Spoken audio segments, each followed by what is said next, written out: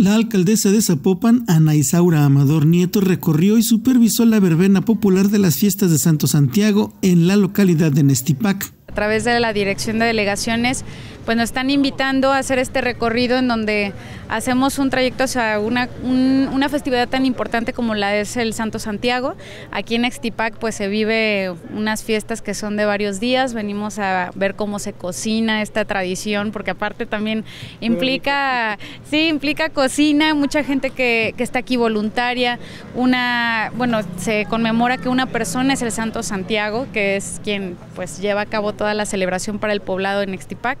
Y bueno, se trata de convivir con la gente, con la ciudadanía, aquí con el ejido, con la delegación, con vecinos, vecinas y bueno, todas las personas que, que vengan a acompañarnos. La festividad de Santo Santiago es una de las más añejas del municipio. Con imágenes de Israel Carvajal para Jalisco TV Noticias, Juan Carlos Huerta Vázquez.